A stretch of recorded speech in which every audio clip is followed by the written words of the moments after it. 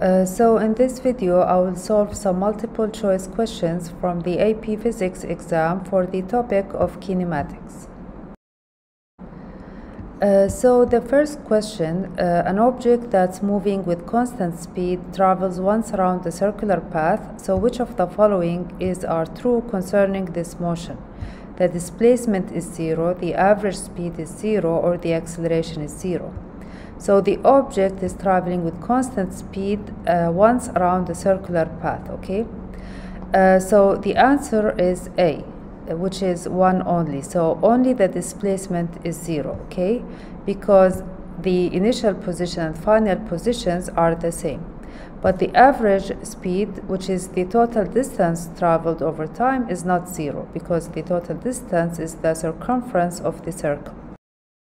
Uh, and also statement 3 is uh, false because the acceleration is not zero. And this is because the velocity uh, changed uh, uh, not, uh, not in magnitude but in direction. Okay, so even if its magnitude is constant, the velocity was changing direction and so there is non-zero centripetal acceleration. And so the correct answer for 1 is A, okay? Uh, so for question 2, uh, it says that at time t equal t1, an object's velocity is given by the vector v1, so this vector, and um, a short time later, which is at t2, the object's velocity um, is given by this vector. Uh, so it says if uh, the magnitude of v2 is equal to the, to the magnitude of v1, then which of uh, which of the following vectors here best uh, illustrates the object's average acceleration between t1 and t2 okay? So the average acceleration is equal to delta v over delta t. And because delta t is a positive scalar then the direction of the average acceleration is in the same direction as delta v. So delta v is equal to v2 minus v1 uh, which is v2 plus minus v1 so this is V2, okay? And this is minus V1. So it's the same as this vector, but in the opposite direction. And, th and then this is the sum of V2 plus minus V1 here. So this is delta V. And, uh, and so this is the direction of the average acceleration. So the answer is C here. Uh, so question three, uh, which of the following is are true? If an object's acceleration is constant, then it must move in a straight line. And two, if an object's acceleration is zero, then its speed must remain constant. And three, if an object's speed remains uh, constant, then its acceleration must be zero. Um, and the answer for three is C, which is the statement two uh, only. Uh, so statement one, is false. Because for example uh, for a projectile um, if we have a projectile motion uh, it only experiences a constant acceleration due to gravity directed downward uh, throughout its motion. Um, but still it is traveling in a curved path okay? So uh, if an object uh, object's acceleration is constant then it does not necessarily move in a straight line uh, and statement 2 is uh, true because if an object's acceleration is zero, then its speed must uh, remain constant, right? Um, because uh, it means when the object's acceleration is zero, it means the velocity uh, does not change. It does not change in magnitude and it does not change in direction. Uh, so statement 3 is false because um, an object whose speed remains constant but whose velocity vector is changing so uh, which means the magnitude of the velocity is constant but the direction of the velocity is changing is uh, is accelerating okay? So the acceleration is not necessarily zero uh, if the object speed remains constant. Uh, so the answer for question 3 is C uh, so for question 4, a baseball is thrown uh, straight upward. So what is the ball's acceleration at its highest point here? Um, so the acceleration of an object moving just under gravity is equal to g uh, directed downward throughout its flight, okay? Uh, if the object is near the Earth's uh, surface. So, uh, so at each point here, uh, the acceleration magnitude is g and its direction is downward, okay? Uh, so constant acceleration throughout the flight. Um, but the velocity uh, change direction uh, and magnitude okay so the velocity first decrease it's directed upwards and reach um, zero at the maximum height and then change direction downwards and is increasing uh, so for 4 the answer is C and for 5 how long would it take a car starting from rest and accelerating uniformly in a straight line at 5 meter per second square to cover a distance of 200 meters okay? Uh, so we use this uh, kinematic equation. Uh, it starts from rest so the initial velocity is zero um, and the time it takes to cover 200 meters is equal to 9 seconds so the answer is A uh, so for question 6, a rock is dropped off a cliff and uh, strikes the ground with an impact velocity of 30 meter per second. So how high was the cliff? So this is a free fall motion. Um, so V naught is equal to zero because it is dropped from rest. Uh, and uh, if we take the y-axis positive upwards, then g is negative downwards, okay?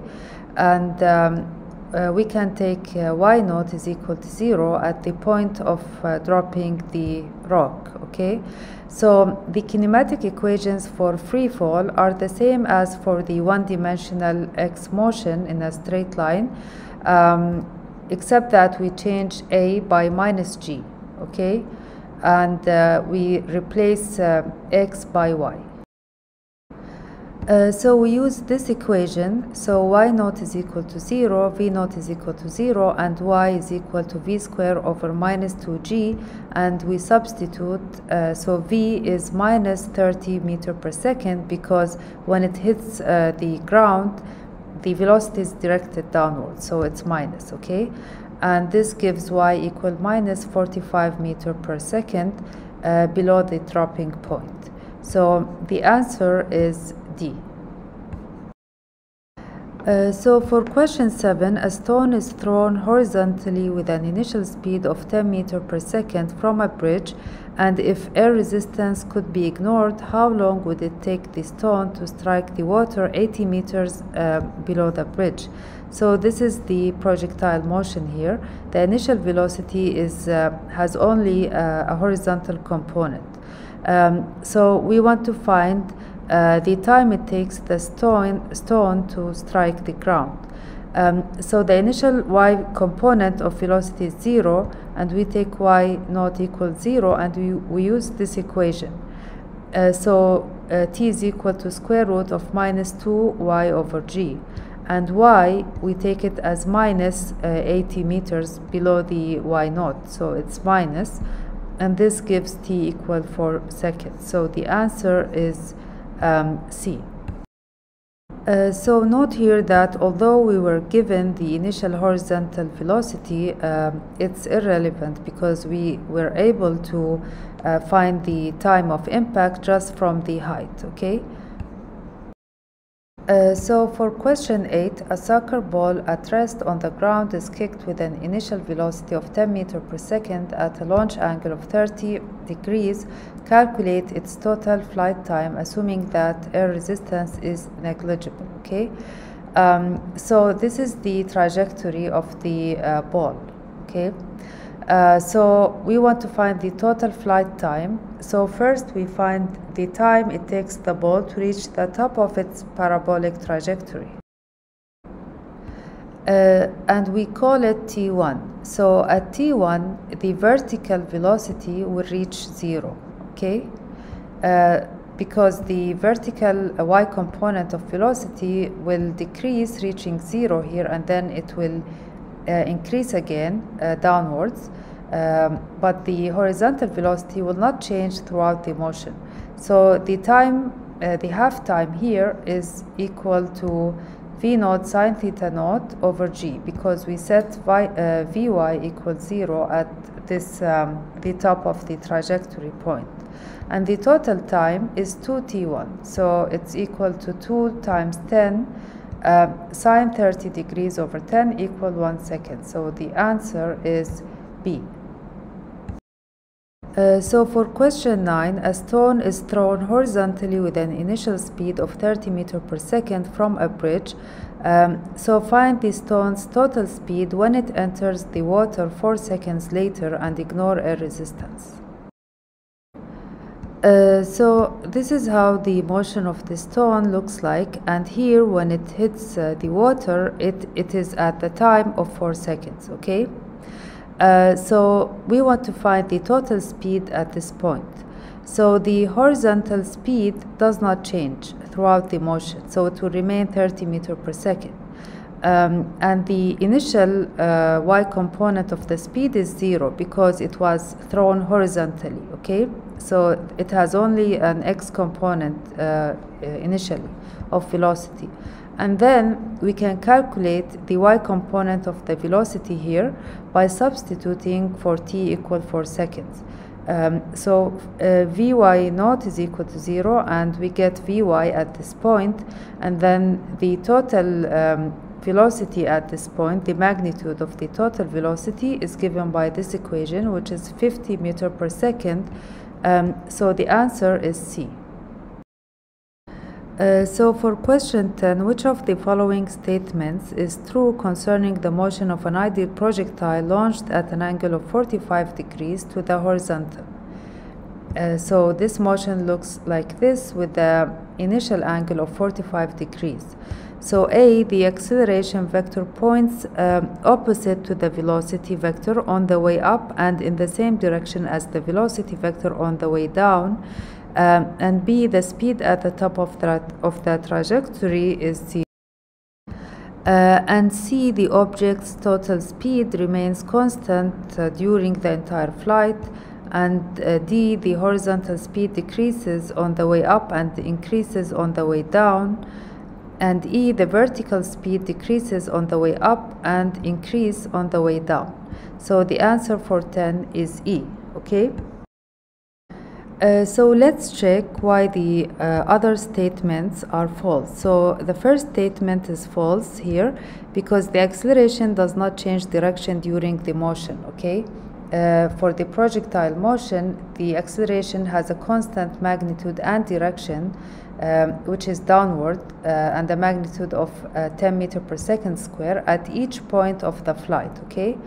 Um, and the statement B is false because the speed at the top of the trajectory here is not zero, but only the y component of that speed is zero at the top, but the x component is not zero. Uh, and statement C is false because it says the object's total speed remains constant during the entire flight, but the object's total speed is not constant, uh, only the x component is constant, the y component um, first uh, uh, is decreased and then it increases again, so it accelerates um, at the rate of the gravitational acceleration, okay? And D, it says the horizontal speed decreases on the way up and increases on the way down. But the horizontal speed does not change throughout the motion, so it's constant throughout the motion uh, because there is no component of acceleration along the x direction. Uh, so only statement E is correct, okay? Uh, so thank you for watching. Please don't forget to like and subscribe and see you in the next video.